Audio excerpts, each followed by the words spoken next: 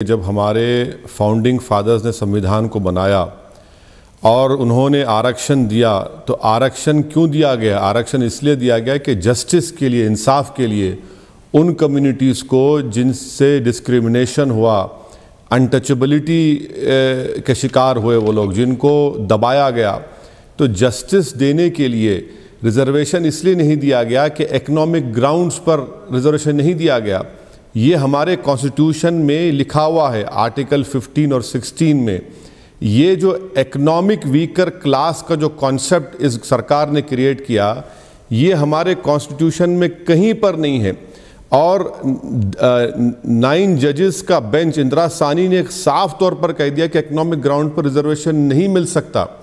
तो ये सरकार अंबेडकर की तोहिन इंसल्ट कर रही है, संविधान की तोहिन की है, और इकोनॉमिक ग्राउंड्स पर रिजर्वेशन नहीं मिल सकता। अच्छा आप ये बताइए कि इकोनॉमिक ग्राउंड्स पर मिलेगा तो आपका डेटा है?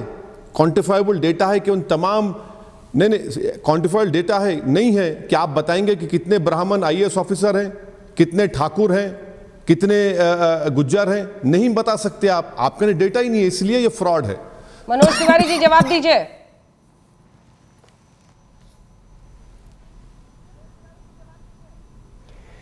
देखिए, मुझे एक बात समझ में नहीं आती अंजना जी, कि जब जब संशोधन हुआ तो क्या वो संविधान का अपमान हुआ?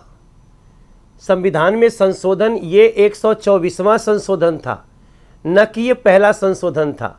तो अगर कोई कहता है कि ये संविधान का अपमान हुआ तो मैं समझता हूँ 123 बार और हो चुका है ऐसा वो कहना चाहता है। दूसरी बात, जो लोग ये कह रहे हैं कि इसकी टाइमिंग क्या है? अरे टाइमिंग तो और लोगों के पास भी है। हमने साढ़े चार, पौने पाँच वर्षों में लगभग हज़ार ऐसे कानून बनाए हैं, जो इस देश के लोगों के लिए है। और याद रहे, हमने जाति आधार पे नहीं, इकहत्तर वर्षों में जो आर्थिक आधार पे गरीबों के आँसू को पोछने वाला, कुछ लोगों ने सवाल जो उठाया है कि हम ये आँसू इस समय क्यों पूछ रहे हैं? हम आपको एक बात कह के अपनी वाणी को बंद कर देंगे विराम देंगे, क्योंकि बहुत बड़े बड़े लोग हैं। मैं उन सभी लोगों से पूछना चाहता हूँ जो कहते हैं कि ये आरक्षण कोई फ़ायदा नहीं करेगा, कोई किसका कोई फ़ायदा नहीं है। तो इसका मतलब वो एससी को जो अभी तक आरक्षण मिला है, उसका समर्थन नहीं करते। ओबीसी को जो आरक्षण मिला, उसका समर्थन नहीं करते। मुझे समझ में नहीं आ रहा है, आदिवासी, एससी, एसटी, ये हमारे ओबीसी सबको जो आरक्षण मिला है, क्या वो बेकार है? मैं समझता हूँ इसको हृदय से स्वीकार करिए। अटल जी ने कहा था, छोटे मन से कोई बड़ा नहीं होता, टूटे मन से कोई खड़ा नहीं होता। इस देश की इस खुशी को स्वीकार करें और मैं सबको धन्यवाद देना चाहता हूँ। जिसने विरोध में भी बोली, हम उन तेईस, तीन सौ तेईस लोगों को धन्यवाद देते हैं जिसने समर्थन किया। उनको भी जिन्होंने राज्यसभा में किया हम सबको प्रणाम करते हैं धन्यवाद करते हैं। हमारे आने वाली पीढ़ियाँ आपको धन्यवाद देंगी। नरेंद्र मोदी को भी देंगी और जिन्होंने साथ दिया उनको भी देंगे। ओवैसी जी जो दलील उन्होंने दी कि अब तक कई संशोधन देश के संविधान में हुए हैं वो सब अपमान नहीं कहलाएँगे। दूसरी महत्वपूर्ण बात क्या आपको नहीं लगता है कि धीरे धीरे गरीबी ने एक बहुत बड़े वर्ग को इतना पिछड़ा कर दिया है? नौकरियाँ नहीं है भूखमरी की कगार पर ऐसे लोग पहुँचे हुए हैं। उन तक मदद नहीं पहुंचनी चाहिए, क्योंकि वो सवर्ण है।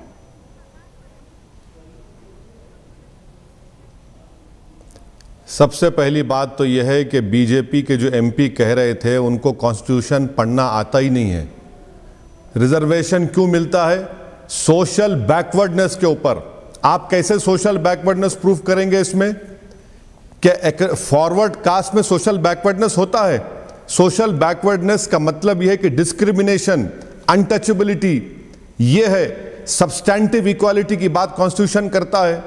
आप समझ ही नहीं पा रहे हैं। भाई, संविधान में 125 मरतबा अमेंडमेंट हुआ है, बिल्कुल हुआ है और चैलेंज भी हुआ है। तो आप ये रिजर्वेशन सोशल बैकवर्डनेस के नाम पर मिलता है। अब रहा सवाल, आप कह रहे हैं कि सावर जनियोधारों को, सावरनास को मिला है। मैडम ऑपरेशन अनटचेबिलिटी क्या सावरना ने फेस किया? क्या सोशल बाइकआउट फेस किया? कौन कौन आ, ये सब ये चीज़ें कहाँ पर आ रही हैं? तो, तो आप सुनिए मेरी बात आप इकोनॉमिक ग्राउंड्स के ऊपर नहीं दे सकते। जब जब संशोधन अरे मैडम इनको रुकाइए जब ये ठीक है अपनी अपनी बारी में बोलते हैं। कितनी छोटी बात कर दी। मनोज जी इनकी मनोज जी जैसे ये खत्म करते हैं मैं आपके पास जवाब के लिए आऊँगी। मनोज जी। वार्तालाप का स्तर कितना नीचा कर दिया। ठीक है। मैं आऊँगी सर ये अपनी बात पूरी कर ले। हाँ, ये अपनी बात पूरी कर ले फिर मैं फ़ौरन आपके पास आऊँगी अन्य लोगों के पास भी आऊँगी। लेकिन ओवैसी जी ये बताइए कि संविधान पढ़ना और संविधान में संशोधन करना दो अलग बातें हैं। ये सच है कि अभी तक संविधान सिर्फ़ सामाजिक पिछड़ेपन को और शैक्षिक पिछड़ेपन को पिछड़ेपन को समझता है मान्यता देता है। लेकिन अगर संशोधन करके आर्थिक पिछड़ेपन को भी उसमें लाया जाता है तो फिर ये कैसे संविधान का अपमान होगा? मैडम मैं वही तो बात आपको बार बार मैं अर्ज़ कर रहा हूँ कि 11 जजेस के बेंच ने कह दिया कि इकोनॉमिक ग्राउंड के ऊपर रिजर्वेशन नहीं दिया जा सकता। 11 जजेस ने। आप बताइए वो सुप्रीम कोर्ट का 11 जजेस का जजमेंट लॉ है और ये सरकार उस लॉ का वॉयलेशन कर रही है। और अगर आप जो रिजर्वेशन देते हैं तो आपके पास क्वांटिफाइबल डेटा होना चाहिए। कहा है डेटा बताइए। और मेरा एक सवाल आपसे, अंजना ओम कश्यप से मेरा सवाल है कि इनकम टैक्स ढाई लाख तक नहीं दिया जा सकता। आठ लाख वाले को आप देंगे रिजर्वेशन। बताइए कहाँ का जस्टिफिकेशन है ये? ढाई लाख पर इनकम टैक्स नहीं है। आठ लाख वाले को आप रिजर्वेशन देंगे। क्या है ये? बताइए। किसको बेवकूफ़ बना रही है सरकार ये? ये ये बहुत बड़ा सवाल है और ये सवाल मनोज तिवारी जी, मैंने भी पूछा था।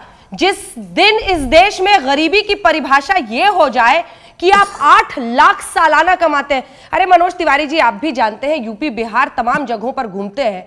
आठ लाख जो सालाना कमा लेगा वो गरीब है। क्या सोचकर आपने किया है ये? ये समझ से परे है।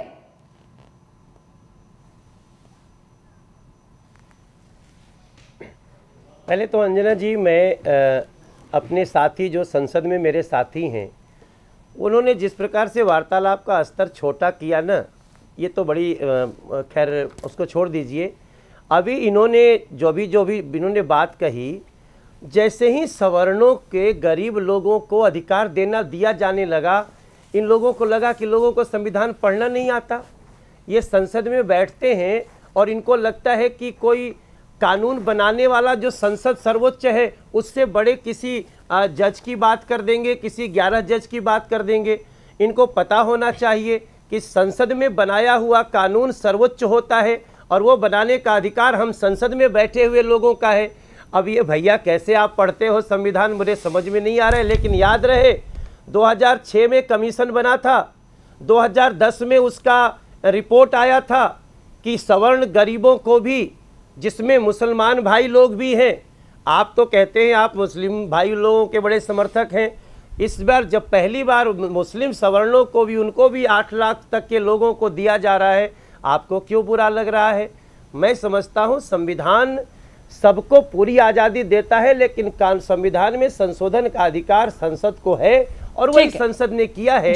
मैं समझता हूँ नरेंद्र मोदी जी ने जो काम कर दिया है वो ऐसे न जाने कितने लोगों के लोगों को कुतर्क करने को ही विवश करेगा ये तर्क नहीं कर सकता। ठीक है।